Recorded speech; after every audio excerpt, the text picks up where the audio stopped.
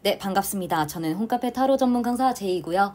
어, 지난 시간에 이어서 입문자용 프로마스터용이 개론편은 함께 진행됩니다. 어, 이제 이번 클래스에서는 입문자용 프로용 함께 진행하는 개론인데 어, 지난 시간에 타로가 점인지 타로가 어떤 것인지 위주로 가볍게 설명을 했는데요. 이번 시간에는 타로 카드 개론인데 이론편 들어가기 전에 이제 11번까지 어, 한 3, 4번에 걸쳐서 가볍게 진행될 예정이에요. 그래서 어렵지 않으니까 한번 그냥 틀어놓고 계시면 될 것 같아요. 자, 첫 번째 타로 카드 읽을 때 질문하는 방법입니다. 자, 타로 현업 프로 마스터들도 이렇게 이 질문하는 방법에 대해서 제대로 배우거나 깊이 생각하지 않는 경우가 상당히 많아요. 그런데 타로 리딩을 하고 타로 카드를 해석하면서 가장 중요한 게 무엇이냐 저에게 물어보시면 제대로 질문하는 거죠. 어, 뜬구름 잡듯 질문하면 해석도 산으로 가요. 그러니까 보시다시피 의도가 명확해야 대답도 명확하게 나타나겠죠. 그런데 어떤 사람은 카드를 뽑았는데 굉장히 깔끔하게 떨어지고 어떤 사람은 이게 무슨 말이야 하고 두리뭉술하게 카드가 나오는 경우 있습니다. 그 사람의 집중력의 문제일 수도 있지만 이건 어 타로 질문하는 방법 제가 샘플 여러 가지를 가져왔어요. 카드가 만약에 내가 다른 사람에 비해서 매끄럽지 않게 펼쳐진다? 그럼 내가 질문을 제대로 하고 있는 게 맞는지를 한번 체크를 해보셔야 돼요. 프로마스터들도 이제 타로 카드 제가 펼친 걸 보거든요. 그러면은 이제 같은 상황에 대해 질문을 하면 제자 선생님과 제가 뽑았을 때 거의 같은 결로 나옵니다. 참 신기하게도 카드 구성은 다르지만 어떤 기승전결이 거의 비슷하다는 얘기예요. 그러니까 한 가지 질문에 대해 여러 사람이 뽑아도 비슷하게 나와야 됩니다. 주파수를 제대로 맞췄다면. 그런데 제가 이제 열 몇 명을 대상으로 이제 오프라인 강의도 해보고 뽑아보면 거의 엇비슷하게 나오는데 한 번씩 엉뚱하게 나오는 사람들이 있어요. 그리고 되게 이제 프로마스터 같은 경우에는 자괴감을 겪기도 해요. 내가 지금 타로가 왜 이렇게 튀는 거지? 그러니까 나 이렇게 우리가 일반적으로 나와줘야 될 결이라는 게 있는데 타로 카드의 느낌이라는 게 있는데 전혀 그 상황에 맞지 않는 카드들이 나온단 말이에요. 그러면 이제 우리 입문자도 마찬가지고 프로마스터도 마찬가지고 타로 카드를 읽을 때 질문하는 방법에 대해서 정확히 한번 우리가 생각해 볼 필요가 있어요. 무언가를 읽는다는 건 질문이 있어야 되죠. 가끔 이렇게 물어보실 수 있어요. 질문 없이도 타로 카드를 읽을 수 있나요? 원래는 선생님 타로 카드는 질문 없이 읽는 거예요. 파울로 코엘료의 소설 브리다를 보면 어, 카드 4장을 펼쳐놓거든요. 그리고 질문은 없어요. 그리고 그 카드가 어떤 말을 하려는지 한번 잘 감상해 보렴 하는 이야기가 나오는데 마찬가지예요. 타로를 daily 명상처럼 이 우주가 이 세상이 나에게 해주려는 이야기를 질문 없이 펼쳐놨을 때 어떤 의미에서는 가장 내가 알아야 할 것들이 나타나기 마련이에요. 그러니까 타로 카드는 애초에 영적 성장 과정에 대해서 얘기를 해요. 그러니까 내면의 성장 과정과 연관이 되어 있고 어, 질문을 하지 않고 오히려 그냥 펼쳤을 때 나에게 가장 필요한 답이 나타날 수 있어요. 그런데 어떤 명상과 성장의 도구가 아니고 어, 내가 알고자 하는 것을 명확히 알고 싶을 땐 질문을 정확하게 해야 되겠죠. 의도를 바로 세워야, 날카롭게 세워야 답도 정확하게 나와요.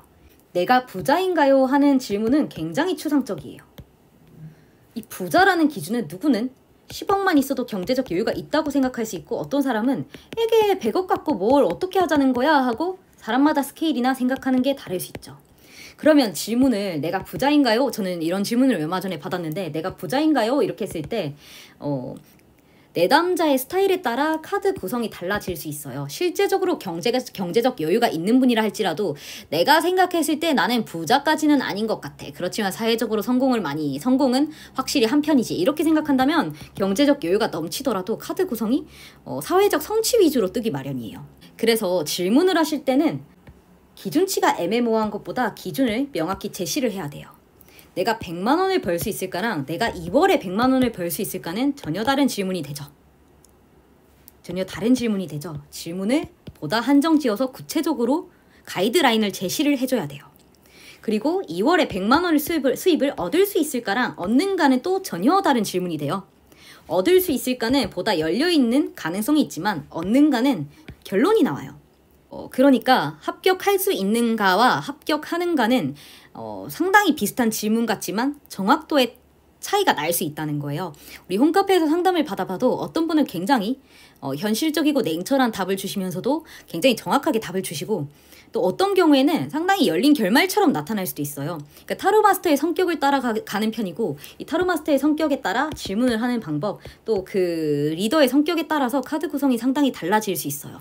아까 부자인가요 했을 때도 실제로 부자라 하더라도 내가 부자라는 생각보다는 사회적 성취를 위주로 많이 느끼고 있다면 그런 카드들로 주로 구성될 가능성이 있다. 어, 그러니까 100만 원의 수입을 얻는가라는 질문은 매우 좁고 명확한 포인트가 있다면 얻을 수 있나는 좀 더 열려 있다는 거예요. 포인트가. 그러니 보다 정확도를 높이려면 단정적으로 물어볼 필요가 있어요.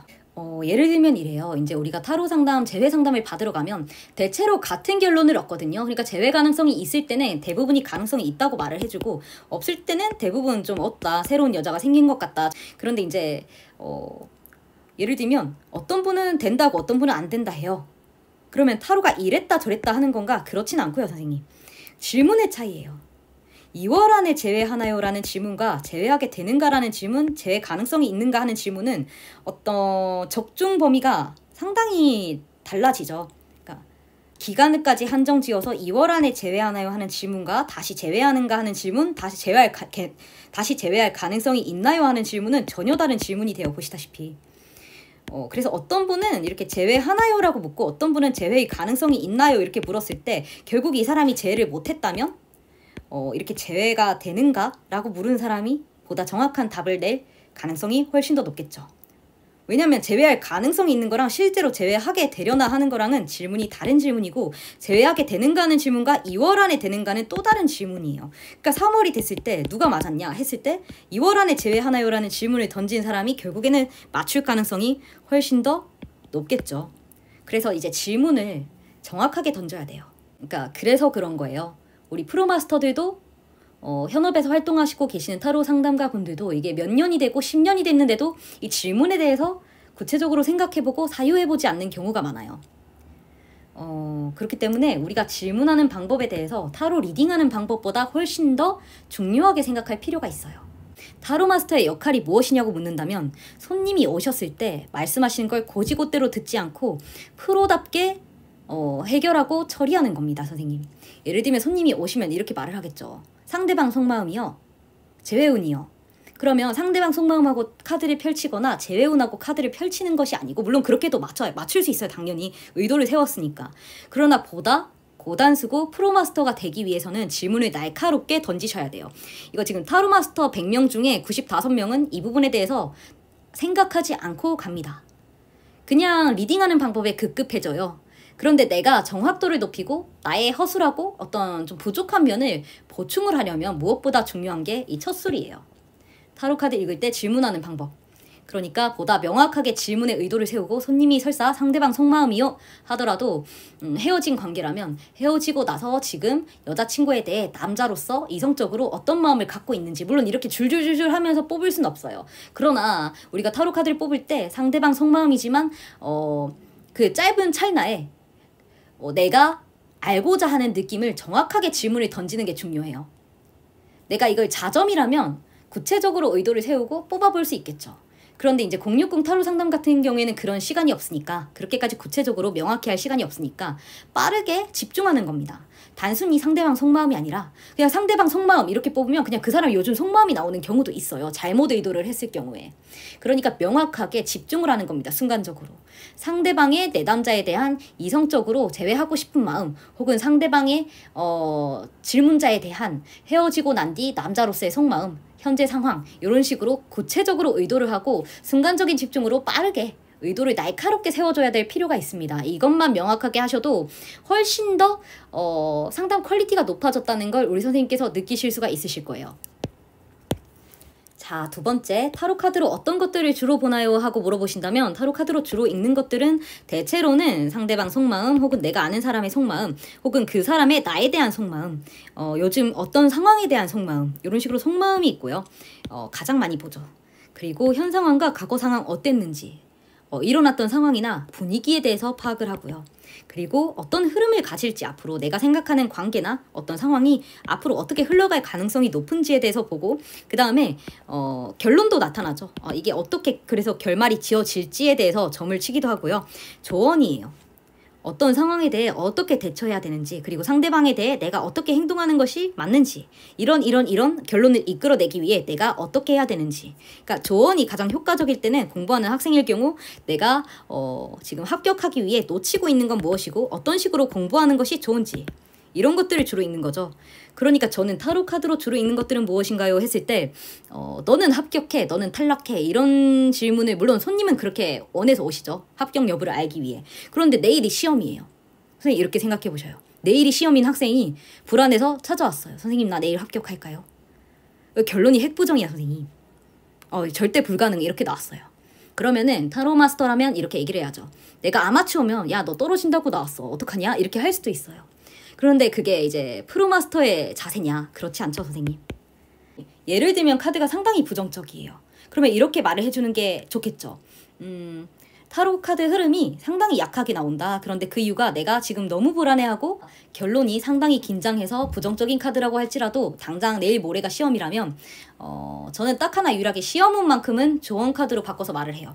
시험을 다 봤으면 결론을 정확하게 얘기를 해주는 게 맞죠. 시험을 다 본 상태예요. 그리고 결론을 원해요. 그러면 어, 사실 조금 어렵다고 한다. 무엇 때문에 어렵다고 한다.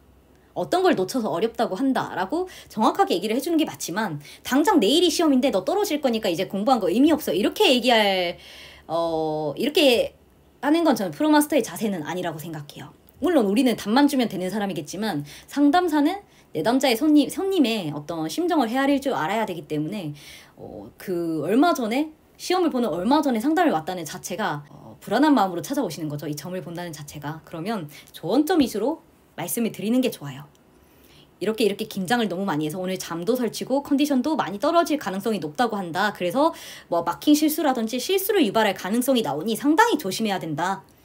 어, 이런 이런 이런 부분에 내가 조금 보, 어, 준비가 부족했기 때문에 오늘 하루 마무리를 하실 때 너무 많은 것을 하루 만에 다 하려 하지 마시고 내가 놓친 것들 핵심 포인트 위주로 짧게 정리를 하면서 마무리를 잘하는 게 중요할 것 같다. 내가 생각지 못한 부, 예를 들면 카드가 그런 흐름이라면 생각지 못한 부분에서 어, 시, 어 이렇게 이렇게 어, 질문이 나와서 문제가 나와서 내가 틀릴 가능성이 있다고 하니 내가 평상시에 좀 안일하게 생각했던 파트 있으면 그 파트를 조금 더 보는 것이 오늘 어, 점수를 올리는 방법 같다. 이렇게 어, 도움을 주는 쪽으로 말해주는 것이 현명하겠죠.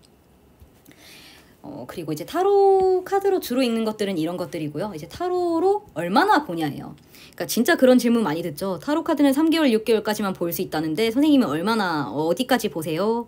이렇게 물어보거든요. 그러면 정말 3개월만 보는 분도 있고 평생을 보는 분도 있어요. 저는 해외 집시 타로를 보면 평생운을 봅니다. 타로 카드로.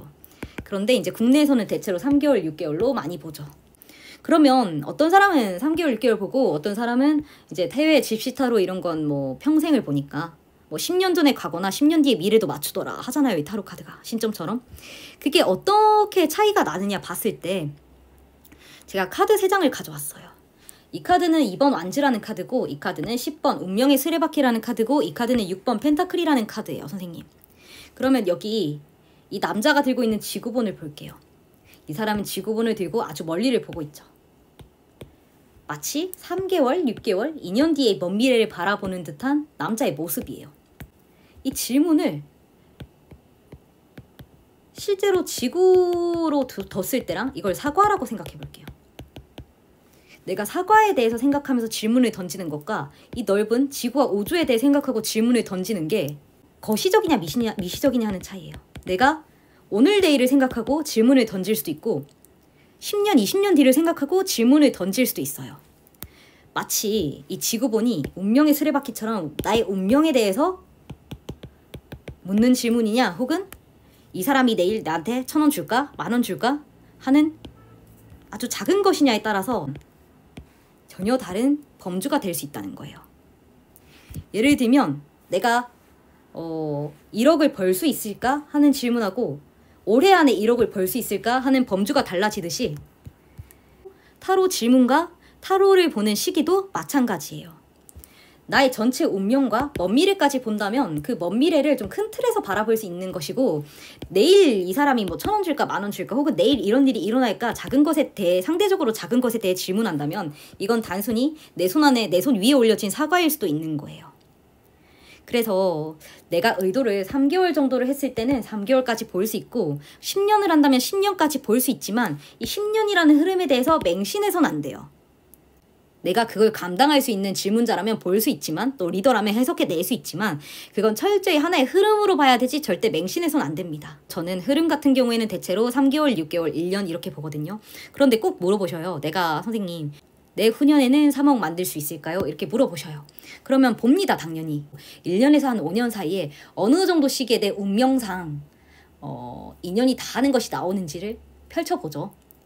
어, 참고해서 계획하라 이렇게 말씀을 드리죠. 그래서 정확하게는 3개월, 6개월, 1년 보고요. 그리고 어떤 질문이 있을 때 혹은 먼 시기를 볼 때는 참고 삼아 어, 이렇게 이렇게 하시는 것이 좋겠습니다 정도로만 해주시는 게 좋아요.